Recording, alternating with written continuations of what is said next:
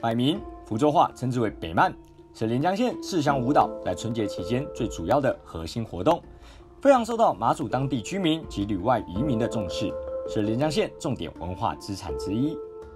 摆明的话，哈，就马祖人来讲，它是最大的一个祭典，它的重要性呢远超过我们过年。它整个的北曼呢，几乎老少都参与在这个活动里面。整个北蛮文化季在四项舞蹈之间轮流展开，庆典可长达一个月的时间。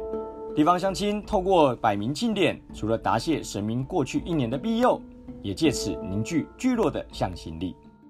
整个祭典活动里面呢，可以看得出来，他们的连接呢非常的厚实。